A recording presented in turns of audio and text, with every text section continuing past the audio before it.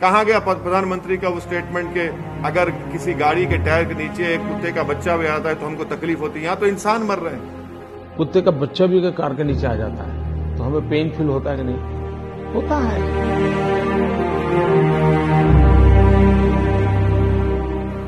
देखिए ये जो सरकार की जो बिहेवियर रहा है इनका अप्रोच रहा है ये बिल्कुल ही क्लूलेस है।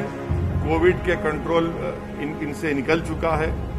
इनके पास इंसानियत नाम की चीज़ बाकी नहीं रही है।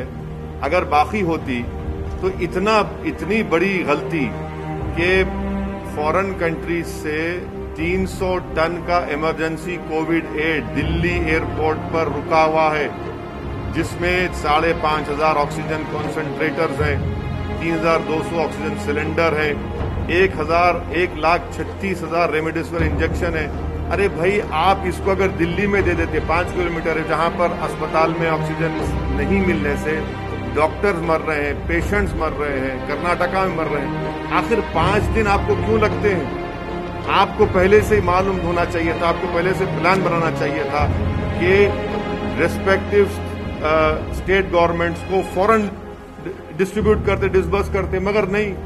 लोग मर रहे हैं ऑक्सीजन से जिसको भारत में लोगों को ऑक्सीजन कॉन्सेंट्रेटर की ज़रूरत है सिलेंडर्स की ज़रूरत है। मगर दिल्ली सरकार जो है दिल्ली के बादशाह सो रहे हैं अपने आ, इनको कोई पता ही नहीं है। कोई बोलता है एम्पावर्ड ग्रुप ऑफ़ मिनिस्टर्स कोई बोलता है कि और मिनिस्ट्री करेंगी। अरे ये वक्त आपको एक्शन लेने का है। आप तो सुप्रीम कोर्ट में जाकर कह दिए कि प्राइम प्रधानमंत्री और और होम मिनिस्टर जिम्मेदार होंगे। इतने लोग मर रहे तो ज़िम्मेदारी किस पर आएगी?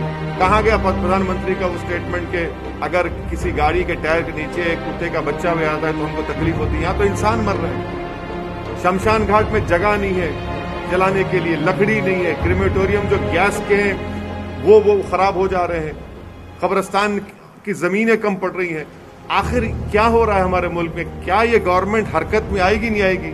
कब तक प्रधानमंत्री से वीडियो कॉन्फ्रेंस से लेकर पूछते रहेंगे? अरे भाई, ज़मीन पे देखिए ना, आप ज़मीन पे नाकाम साबित हो रहे हैं। आपके कोई हरकत नहीं कर रहे हैं। आप, आपकी सरकार दिख ही नहीं रही ज़मीन पर। आपकी सरकार सिर्फ़ वीडियो कॉन्फ्रेंस में दिख रही है। मगर ज़मीन पर तो कोई सरकार नज़र ही नहीं आ रही। इससे हर आदमी परेशान है। कोई दिन नहीं जाता कि लोगों की आहें, उनका रोना, उनकी तकलीफ़ कहीं बेड नहीं मिल रहा है। इक्विपमेंट की ज़रूरत है। अरे किस किस ये ऐसे वक्त में आप जीएसटी क्यों लगा रहे हैं? उन लाइफ सेविंग इक्विपमेंट पर निकालिए जीएसटी को। एक एक, एक टाइम तक निकालिए। और फिर इंपोर्ट ड्यूटी आप रखे क्यों इंपोर्ट ड्यूटी उसको भी निकालिए। अरे भाई इस, इस जब फॉरेन कंट्रीज़ एड दे रही है बांग्लादेश दे रहा है उज्बेकिस्तान दे रहा है सब दे रहे हैं हमको तो आपको तो ये काम करना चाहिए था ना। आप दिल्ली में एम्बेसीज हैं आज एक अफ्रीकन कंट्री का डिप्लोमेट उसकी मौत हो गई, उसको ऑक्सीजन नहीं मिला मिलिट्री हॉस्पिटल ले जाना पड़ा उसको।